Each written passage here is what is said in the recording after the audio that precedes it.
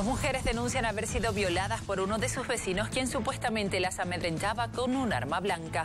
Y violó y así nomás después con sus mentiras dice con pandilleros te voy a hacer agarrar si vos te avisas, así me, me, amenazaba. Es parte del testimonio de una comerciante que denuncia haber sido víctima de violación en febrero del 2014. Según la mujer, la agresión se dio en medio de las amenazas.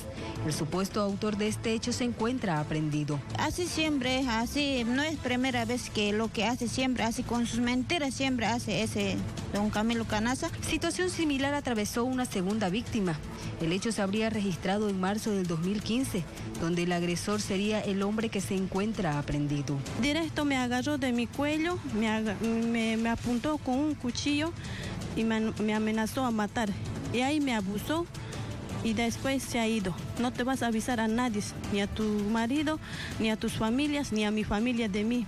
Si tú avisas, tu vida me va a pagar. Así diciendo se ha ido. Varias veces, en de día, en de noche.